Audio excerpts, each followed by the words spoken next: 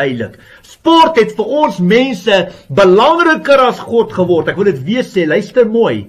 Sport het vir ons mense belangriker as God geword. Ons kinders het vir ons afgode geword.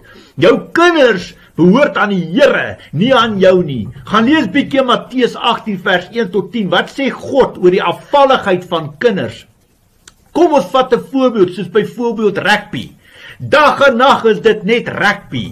Jesus was nog eers behoorlik uit die graf uit nie toe speel ons weer rugby. Ons mense se prioriteite is nie reg nie. Op ons Sabbatdae word daar rugby gespeel. Op Paasnaweek word daar rugby gespeel. Ons kry eenvoudig net nie genoeg nie. Niks bevredig ons behoeftes meer nie. Daar's absoluut geen respek vir God of vir sy woord nie. 'n Jong dame, 'n jong dame sê vir my, "Maar oom, hierdie toernooie word al lank al voor die tyd beplan." Die organiseerders kan nie volgens elke geloofinstansie in Suid-Afrika beplan of organiseer nie. Dit is maar deel van die lewe.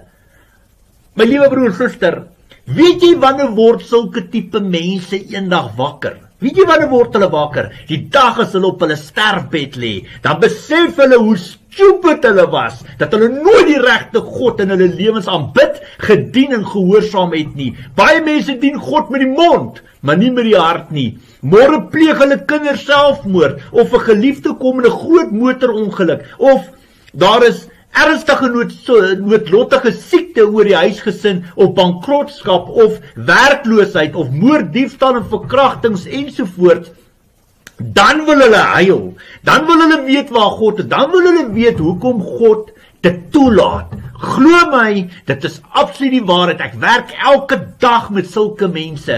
Die woord som hulle baie mooi op. Luister, daar staan geskrywe, hulle sal eerder liefde vir genot hê as liefde vir God. Hulle sal nog die uiterlike skyn van godsdiens hê, maar die krag van God, eh, van die godsdiens sal hulle nie ken nie. Bly weg van sulke mense af. 2 Timoteus 3 vers 4 en 5. So as jy wil dobbel met God se genade en van Jesus se kruisdood 'n bespotting maak en maak of hy bestaan of hy lewe nie. En dit is net sportdagge kry vir jou. Jy dobbel, jy's op jou eie. Ek was my hande in onskuld. Die woord sê Die woord sê Matteus 6:24 Niemand kan vir twee baase te gelyk werk nie. Hy sal of die een minder ag en die ander een hoor of vir een meer oor hê en die ander een afskeep. Jy kan nie God en mammon dien nie. So kan jy ook nie vir God en sport dien nie. Definitief. So kan jy ook nie vir God en sport dien nie.